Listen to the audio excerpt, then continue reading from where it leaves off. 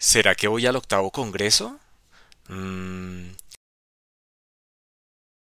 Listo, voy a ir al congreso, pero también hay una actividad de jóvenes. ¿A cuál? Mm, Listo, voy a la actividad de jóvenes, pero hay feria de emprendimiento de personas sordas. Si voy a ir... mm, Espera, ¿a cuál de las dos voy?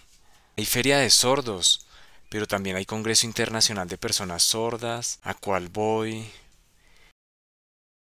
Listo, voy al Congreso Internacional. Pero hay una reunión especial con invitados del gobierno y las personas sordas. Yo quiero ir a todos. ¿Qué hago?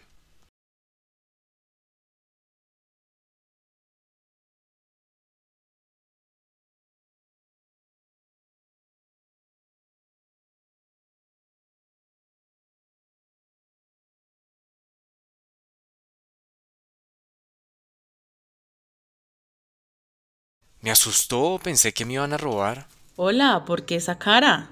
Sí, es que no sé qué hacer. Mire, veo las actividades del Congreso y me interesa ir, pero también veo otras actividades por otros lados y quiero ir a todas.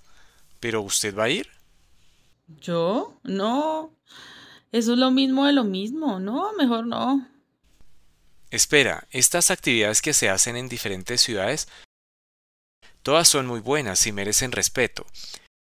Sin importancia a la que uno asista, ir es muy bueno. Entre más sordos vayan, sirve para visibilizar. No, no, no, no, no. No vaya. Haga lo mismo que yo, no vaya. Claro que hay que asistir para visibilizarnos ante el gobierno y que puedan ver nuestra gestión y unidad. Mmm, buen punto.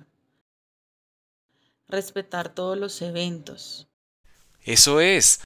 Lo importante es asistir y que nos unamos a través de la lengua de señas. Ahora sí estamos de acuerdo. Pero ¿a dónde vamos?